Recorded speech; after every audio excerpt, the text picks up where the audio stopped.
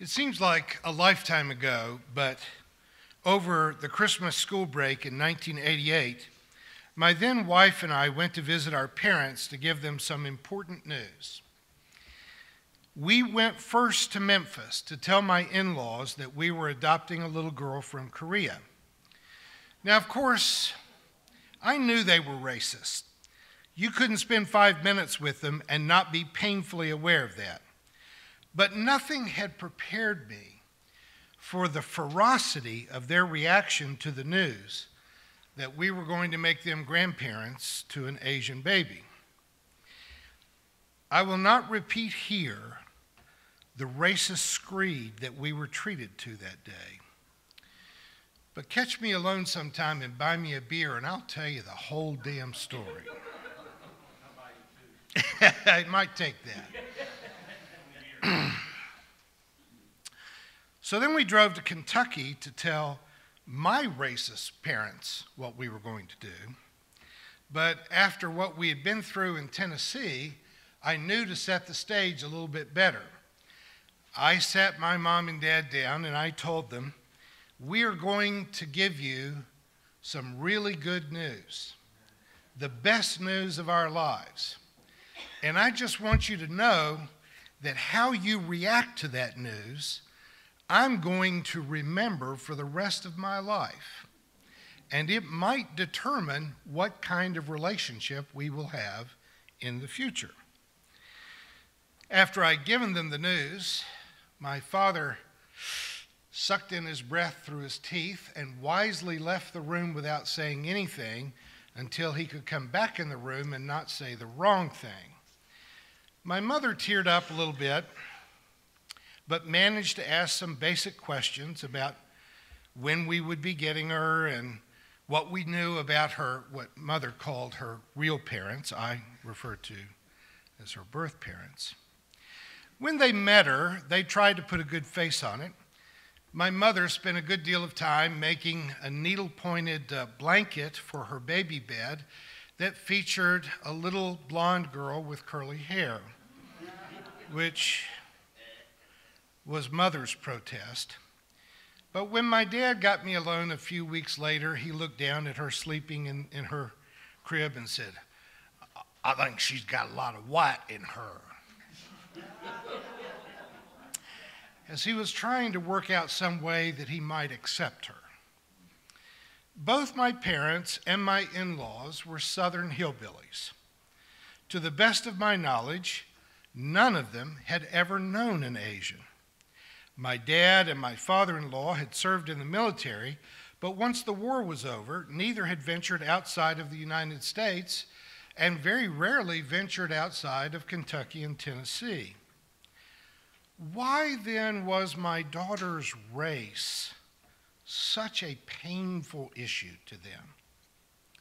She's smart, she's beautiful, she's personable, she's well educated, she's successful, she's world traveled, she has a ton of friends. In short, she is everything that they were not. But also exactly the kind of daughter that everyone wishes they could have had.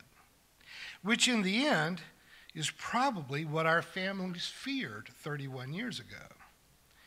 What I am only lately beginning to realize is that the root of racism is not so much a fear and loathing of races that are perceived as being somehow different or other, but actually a fear of a loss of status, a loss of privilege, a loss of a sense of superiority that somehow comes with being born white.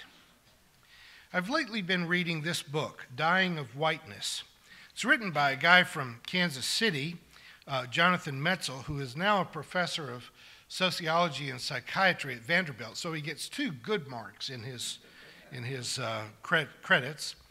Being from Missouri and now living in Tennessee, he, was, uh, he has examined the paradoxical problem of why the most ferocious white racists are almost always the people who have the least about which to feel superior. Now, I don't want to go too far down this rabbit hole here, but why is this guy worried about racial purity?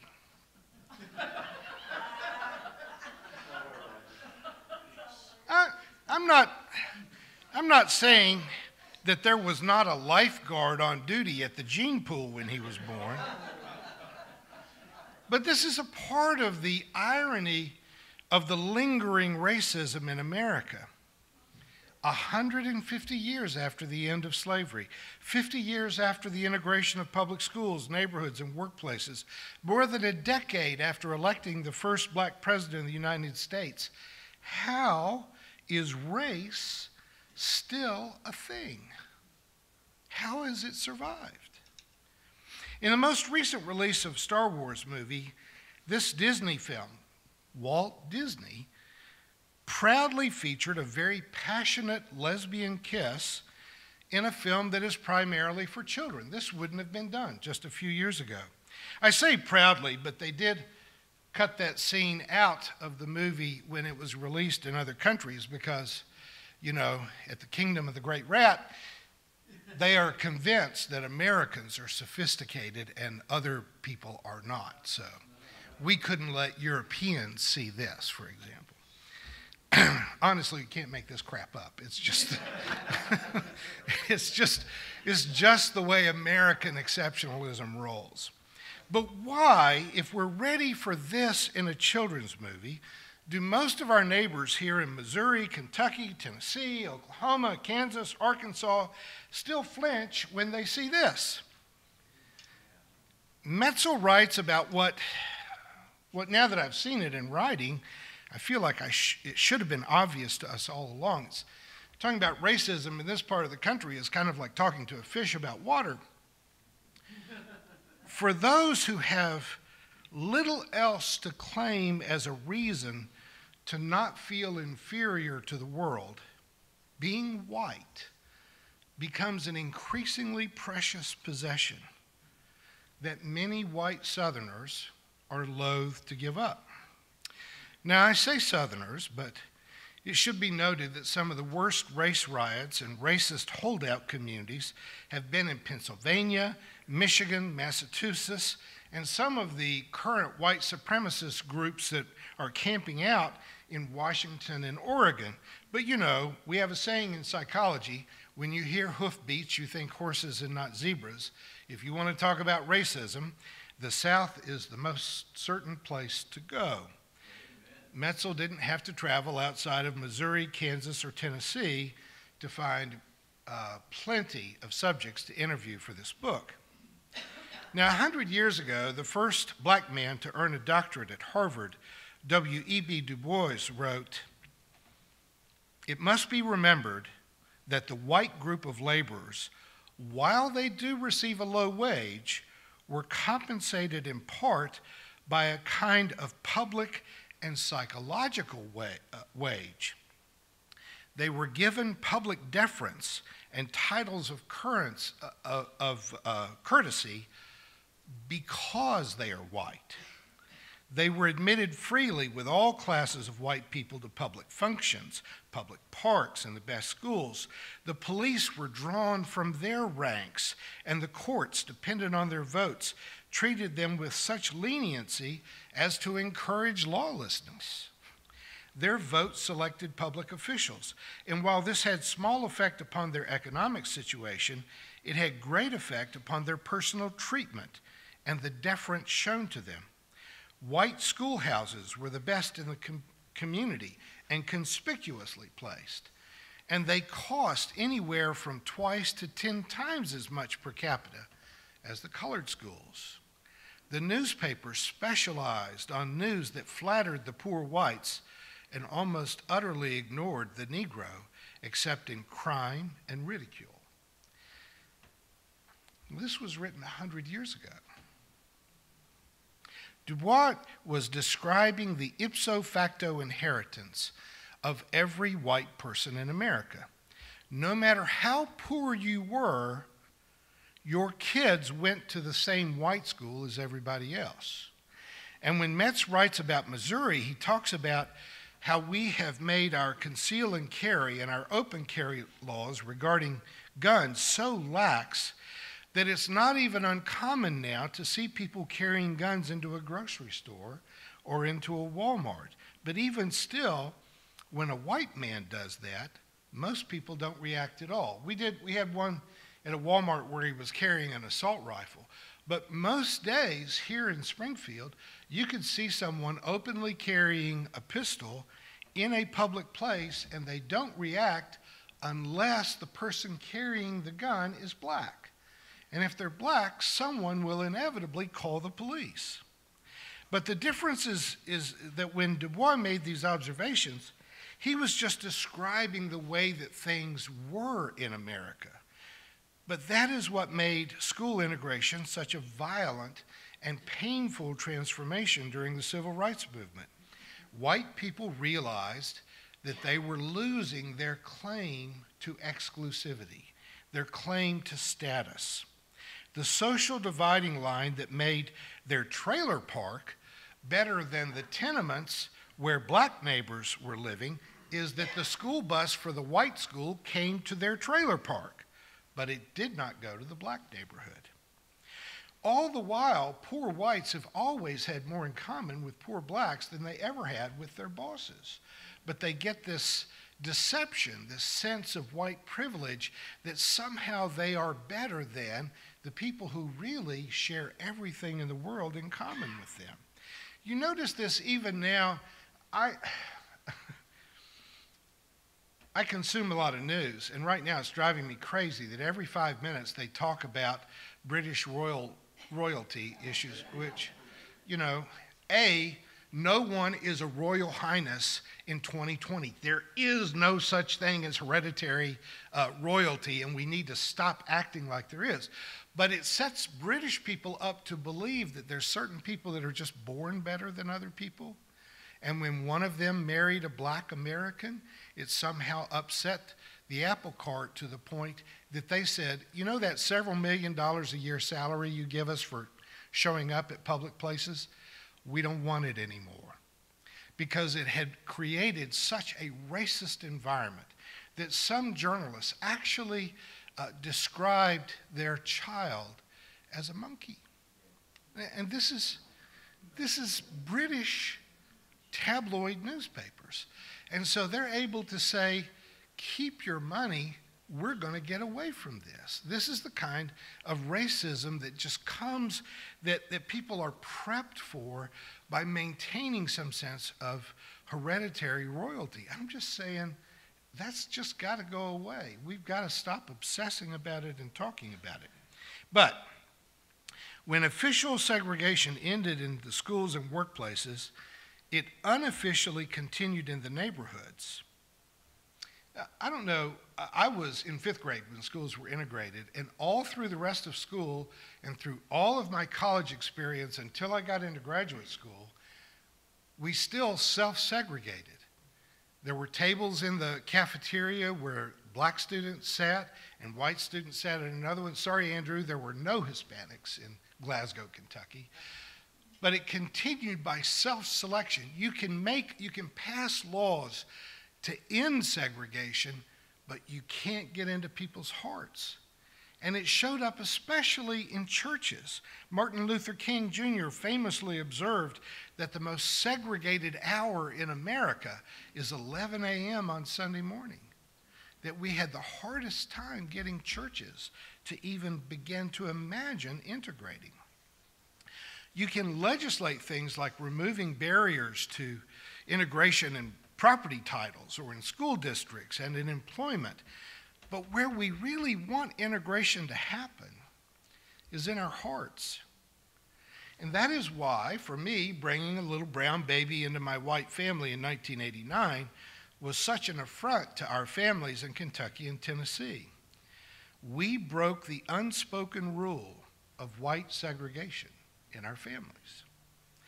Now, adoption is a bit of a spin of the wheel of fortune I was at the airport in Memphis, Tennessee when Valerie arrived, and along with several other babies from Korea. They were not all beautiful. And I, I know the families that, that also got children that day. They didn't all turn out to be terribly smart. Some of them have had some pretty serious psychological, and even legal issues.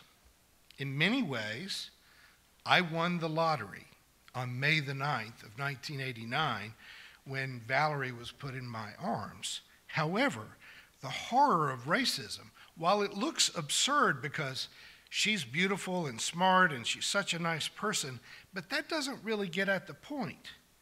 Had she been unattractive, below average intelligence, if she had struggled with addiction or unemployment or any of the horrible things that, in fact, her maternal grandmother predicted would absolutely happen, I'm still a little frosted about that.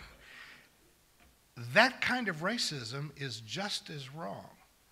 You cannot have a double standard and say that we remove racist uh, inclinations only when you encounter a Halle Berry or a Valerie Ray. It has to be that we are recognizing that skin color has nothing to do with people's value as an individual. The presumption of superiority based on race, skin color, nation of origin, heritage, religion, or culture is just obviously wrong without consideration of their relative beauty or their grade point average. Metzl titles his book Dying of Whiteness because people are literally dying trying to desperately hold on to some sense of privilege based on their skin color. The interviews in his book, just like the one we excerpted for our wisdom lesson today, shows how much the resistance to Obamacare and the expansion of Medicaid was rooted in the fear that poor white people had that, that blacks and Hispanics and immigrants were going to get health care at public expense. The fellow Trevor that he was interviewing, that, that, that we just read, talked about his tax dollars. Well, he was not paying any taxes, he was receiving public welfare. But he didn't want, he was willing to go without health care rather than see blacks and Hispanics and immigrants get health care. Many of these people also need ACA, or Affordable Care Act insurance or Medicaid, but they choose literally to die from their illnesses, making a personal sacrifice in order to keep blacks and Hispanics from diluting their sense of superiority. Missouri refused to expand Medicaid and because of that, about 60,000 people are dying every year prematurely and unnecessarily right here in our state due to lack of access to health care.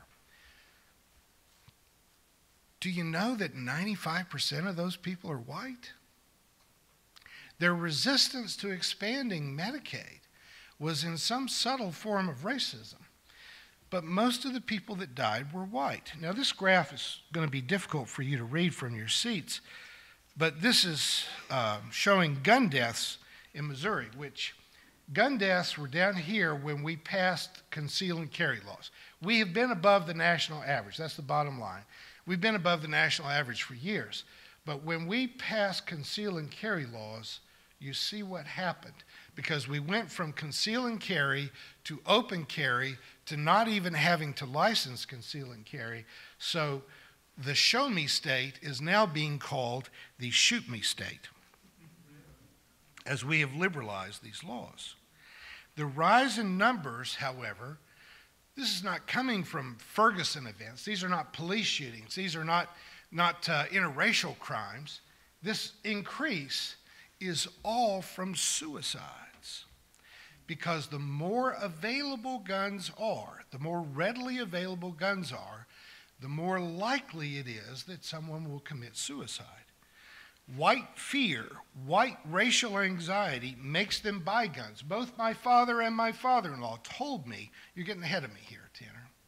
Uh, Tanner's been out for a while. um, told me that the reason that they had a gun in every room of the house and in the trunk of every car was in anticipation of being robbed by a black person. The whole motivation. And not very many people will tell you, but I'll bet you in Springfield, Missouri, 99% of the guns purchased are purchased by someone who is at heart a racist. They are afraid of black people, but then they've got guns all over their house, and just the, the despair about life, unemployment, illness, poverty, loneliness. Is it too much to say the sense of loss of status as a white person makes them turn that gun on themselves? These are not black people committing suicide. These are white men literally dying of whiteness. Here are the numbers. This bottom line is black females. The least likely person to commit suicide in Missouri is a black woman. All of these up here, these are the white males. Now, we're decent people here, most of us. I know most of you. We have compassion for everyone who commits suicide. But look at how this race and gender thing breaks it out. The least likely person to commit suicide in Missouri is a black woman, and the most likely is a white man. And see how in the last few years that line has gone way apart. This is not a metaphor. This is not symbolism. This is not speculation. These are hard numbers. As Metzl says, the politics of racial resentment is killing America's heartland, literally.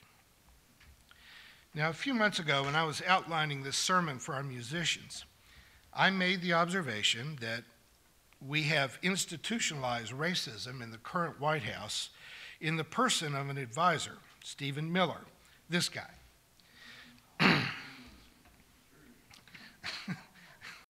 Does he just look like a villain in a bad movie? Ooh, okay, Alex, I've got this. now, we believe that this guy is the one who produced the racist content for, well, we know he produced racist content for Breitbart News Service before he became an advisor to Trump. But then he's the one that was the architect of the Muslim ban. He's the one that has come up with all the harsh border uh, immigration policies, including child separation all goes back to this guy. Now, next slide. I am way too mature to pull a sight gag on Sunday morning. Most days. But doesn't this look like photos from a Kentucky family reunion to you? I may have even been at that one, I don't know. But what I, what I said in my notes to our musicians was I wasn't sure that Stephen Miller would still be in the administration when this sermon rolled around in January because after all those emails were released uh, in November and it became obvious that Stephen is a white nationalist, surely he would be removed from office. Tick tock, President Trump. Tick tock. How long does it take for you to remove a known racist who is unfit to give guidance in policy in the federal government? Don't answer that. I'm pretty sure Trump wouldn't understand the question. The more important thing is for my white peers how much longer are we going to tolerate this? Why has this become acceptable? How long will we pay a crazy price to defend white privilege? I've spent most of my life now, my adult life, in an interracial family. And what I can tell you existentially about adoption is after the first couple of months, you forget that you became a family by virtue of adoption. And in my case, you forget that you're not the same race until someone else brings it up. In one of those moments of reconciling honesty after my daughter was grown, she actually showed me the fake ID that she had used when she was in college to get into clubs where she had no business being. At the age of 19, my daughter was using a driver's license of a 35 year old Chinese woman, who I may say did not look a thing like my daughter. And so I asked, This actually worked? And she said, the only racist thing she's ever said to me. Dad, you know white people are stupid.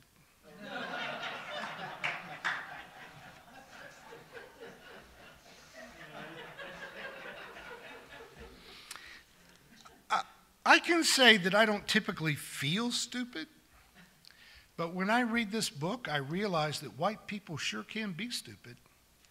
And more than that, they are being stupid. They, I'm acting like I'm not one of them. We are being stupid in a way that is killing us. White people, come on, my people, my tribe, this is killing you. My cousins, I know that you want to insist that voting for a racist doesn't mean that you are a racist. I know you've told me how deeply you want that to be true. So let me ask you since it has now been perfectly obvious for three months with documentation that Stephen Miller is a white nationalist, a racist, what have you said and done to get him out of office? And if you've done nothing, then doesn't that mean that voting for a racist makes you a racist? I know you don't want it to be true, but it is unavoidably true. So here's the hard news you're just not that special.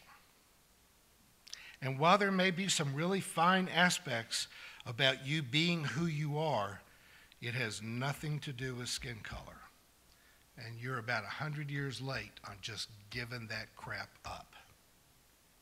In honor of Dr. King, I'd like for him to have the last word today. We must learn to live as brothers, or we will surely perish as fools. Thank you for watching our videos. We are entirely dependent on the donations of our listeners and members.